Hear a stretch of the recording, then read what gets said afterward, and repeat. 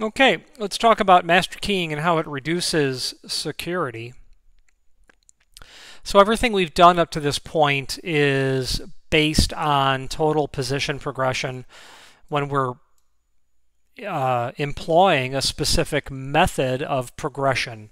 That means total position progression, literally by definition, does mean there'll be a master pin in every chamber, uh, every single chamber.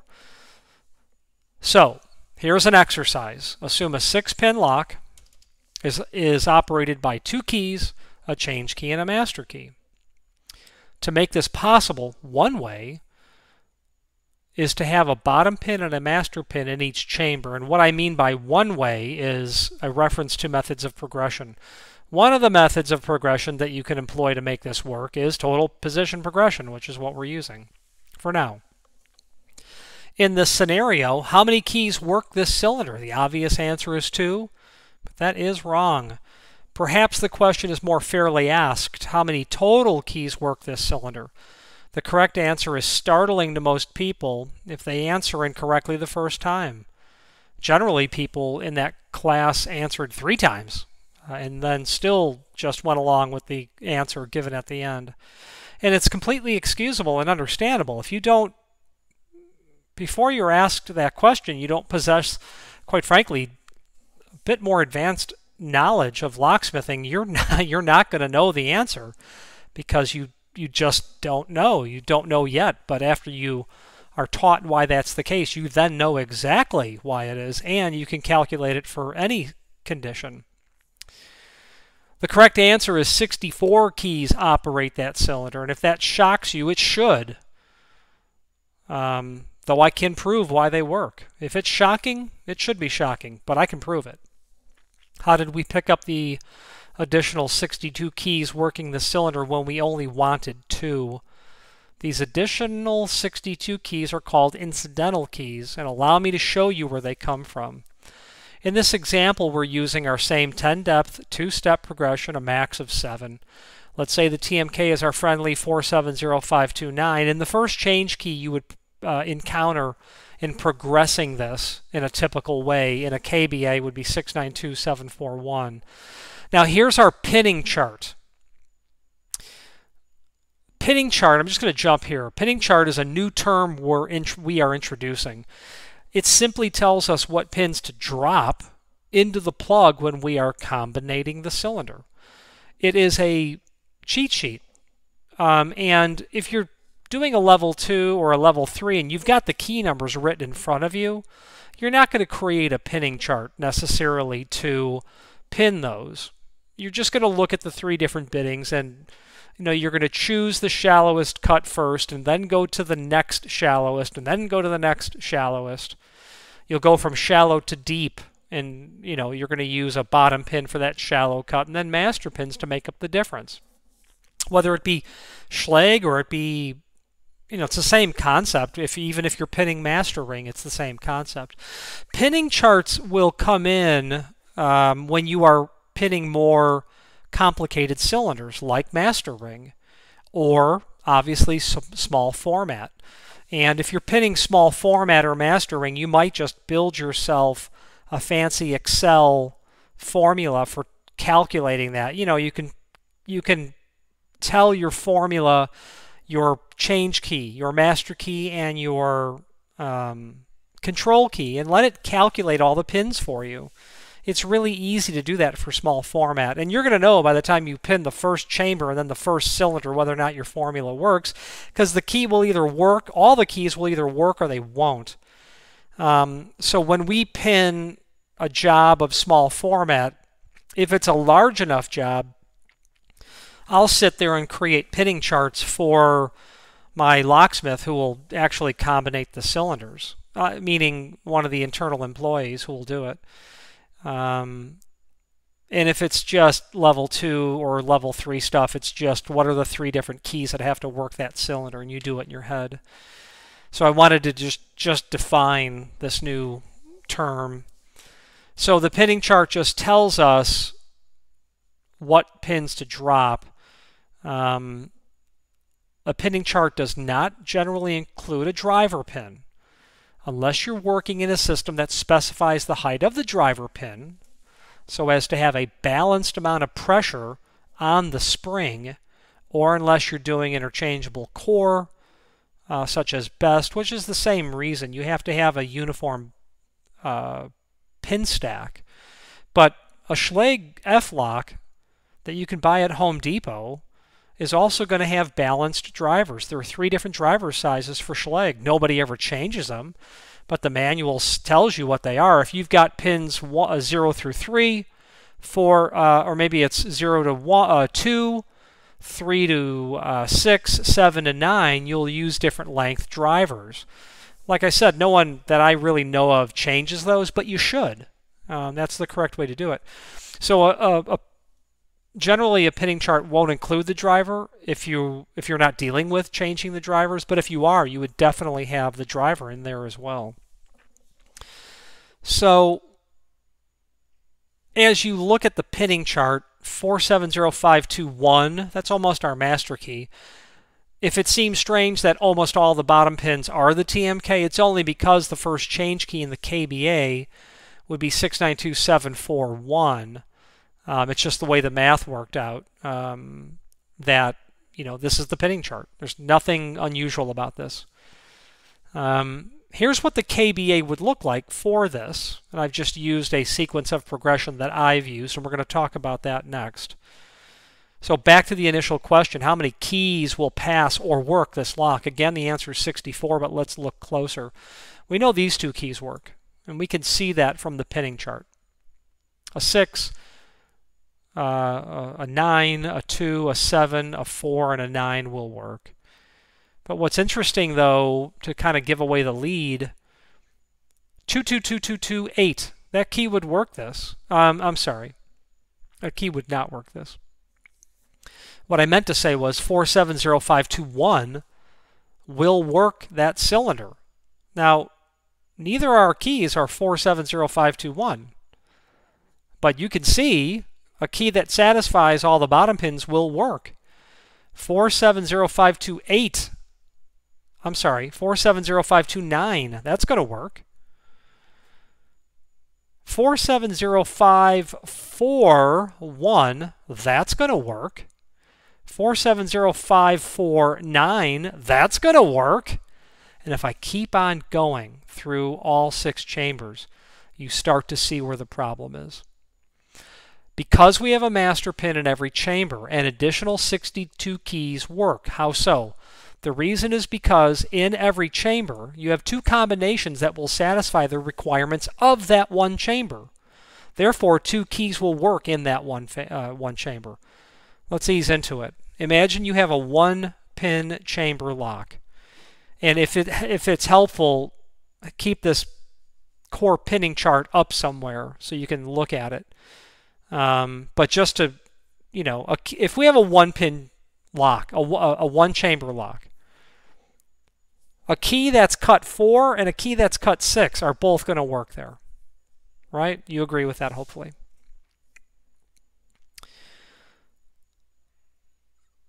If Imagine you have a one-pin chamber lock. If you have a bottom pin only, one key will work the lock. But if you add a master pin, now two keys will operate this one pin chamber lock. That's easy to understand. Imagine you have a two chamber lock and that you have added a chamber to your existing one chamber lock. Okay, now you have a two chamber lock. These are imaginary. The second chamber will also have a bottom pin and a master pin. That means in the second chamber, it alone can satisfy um, two keys. But you inherit the first two keys that the first chamber can satisfy. So our two-pin chamber lock can satisfy a 4 or a 7. It can satisfy a 4 and a 9. It can satisfy a 6 and a 7. And it can satisfy a 6 and a 9. There's four keys will work in a two pin chamber lock when you have a master and a bottom pin in each chamber. Okay. Now, because you have the two keys that will work in the first chamber and now two additional keys that will work because of the added second chamber, you now have 2 times 2 equals 4 keys that will work in this two pin chamber lock. If we add a third chamber to our lock, with again a bottom pin and a master pin, again an additional two keys that would operate the third chamber, we now have two keys that operate from the first chamber, multiplied by two keys that will operate from the second chamber, multiplied by two keys that will operate because of the third chamber. And it becomes 2 times 2 times 2 equals 8. And if we go back to our uh, pinning chart, 470 will work, 472 will work, um, 492 will work, um, 670 will work, 690 will work, uh, 6, uh, I forget where I am, 672 will work, and if you cycle through, and then two, and then six nine two will work, four seven zero will work. I may have gotten to eight, but if you worked all those out, it's going to be eight.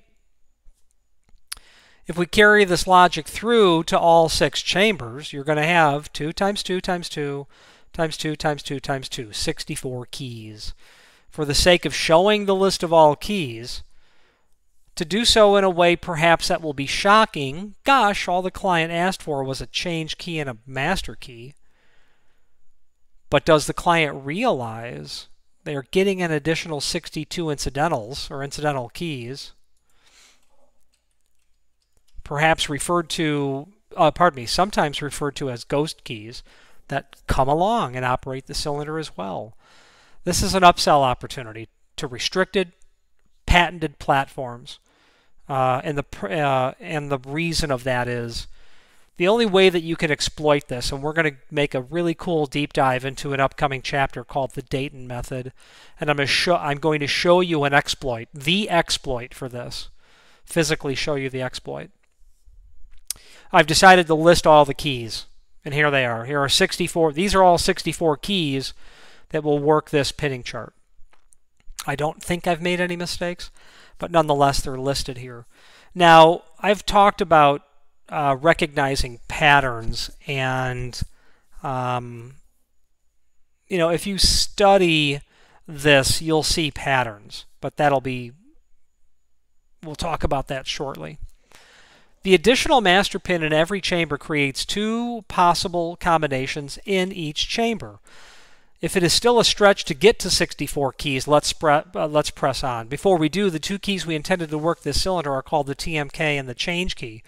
Both will have SKCS symbols applied to them, but there is no significance in that, in stating that. Of the two, when we make these work by having one master pin in every chamber, we inherit the 62 extra keys. And I'm just summarizing here. Think of it as, as I said, 2 times 2 times 2 times 2 times 2 times 2, or 2 to the sixth two shear lines in six chambers. That's your formula. Now, now if you had seven chambers, but you didn't have two shear lines in every chamber, you might have one shear line in a chamber. You might have three shear lines. You could do 1 to the seventh um, plus 2 to the fourth plus 3. You know, you could, you could break it up that way as well. Those extra 62 hangers on we call incidental keys, ghost keys again. Said another way, 1.56% of all possible theoretical keys in the KBA will pass the cylinder when we only wanted 0.05%. That is a huge increase. You know, a, a factor of 30. Um, 31. Again, this can be expressed as 2 to the 6th. This comes from assigning both of the two potential combinations per chamber with six chambers. If you have a five-pin cylinder, there are two to the fifth, or 30 incidental keys beyond the two we need, so a total of 32. And it gets worse if you have a seven-pin cylinder. It's 128 that will work, 126 plus the two that you want to work. When the wrong key works the lock, key interchange occurs. Cylinders with more master pins loaded than necessary makes the cylinder easy to pick, bump, decode, and does so substantially, and does substantially so. And we're going to exploit that very soon. The point is, be aware of what happens when you're dumping master pins. We will talk at length on a very advanced subject soon called Methods of Progression, and it will show better ways to progress cylinders so that you're not picking up or you're minimizing the number of incidentals. You want to do that. It is part of the ANSI standard to create a system that minimize the amount of additional keys or or ghost keys that would work. It's literally in the standard. To do to write something in total position progression, you don't go to methods of progression jail. You're just not doing it the way that the ANSI standard tells us to do it or mandates us to do it. And this is, in fact, how master keying reduces key security. It is plain as day. All we want are two different keys to pass a cylinder, and we get an additional 62 in this 6-pin example. This loss of security cannot be minim minimized when using TPP, but we will explain ways this loss of security can be minimized by using different means to progress our KBA later when we discuss methods of progression. Speaking of decoding, um, which I'm thinking that I've mentioned here when I was talking about exploits, um, an upcoming chapter discusses a topic well known in the locksmithing industry and is, or was at least until the early 2000s, the best kept secret contained within the locksmithing industry. It really was. But you can but but you as an expert can maximize your client's security needs and your profitability as well by understanding how conventional cylinders have have a weakness which can be exploited rather easily with just a little bit of knowledge. It's really as a as an aside, it's really interesting to be in a locksmithing class uh, because you'll have lots of different types of locksmiths. You'll have retail guys. You'll have guys that do automotive. You'll have people that work on small projects. You'll have people that are quite advanced. You'll have locksmiths that are institutional locksmiths and they work at a Big Ten university. And some of the stories that they share, the anonymous stories they share of how brilliant these students are about learning how to exploit exploit the cylinders is really shocking. Um, a little bit of knowledge will allow a smart person to really have their way with a cylinder.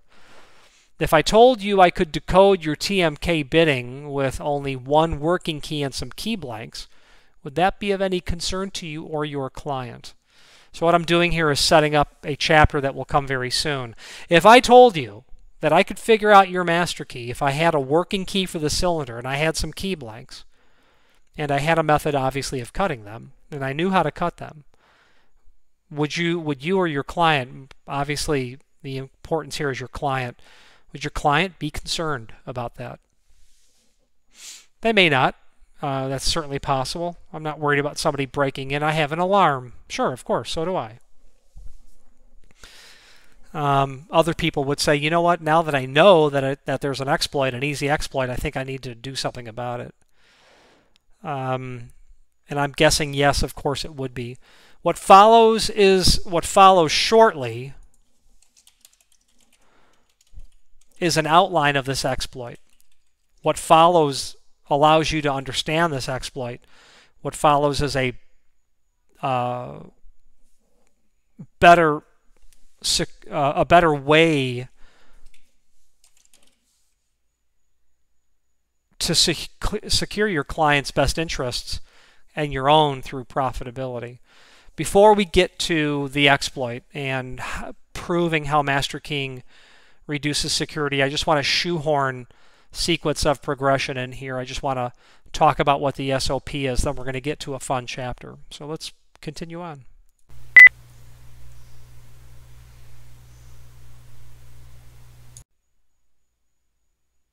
Now, you know, in summary, why you really want to know about this, in my opinion, is because you want to be able to be a good steward over your clients' uh, goals, what they're spending their money on. You're the expert. Um, once you learn that Master Keying reduces security, you can then realize, well, we need to minimize this.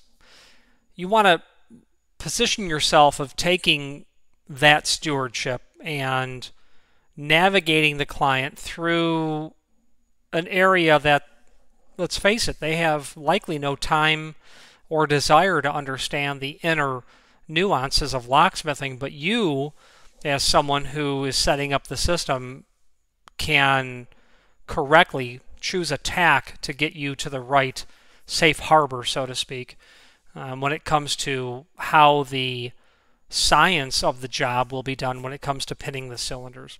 The factory is going to do a lot of that work, if not all of it. They will be most likely observing best practices when it comes to this. But when you learn about this topic, you can then insert yourself into the conversation and say, explain to me how you plan on doing this. So you can make sure that it's the way that you figure along with the factory is going to be the absolute best way for the client to have their needs met and obviously a way to sell them a product or a service that does not permit all of these hangers on, these ghost and incidental keys, these easily exploitable uh, points of weakness that's being designed into the system.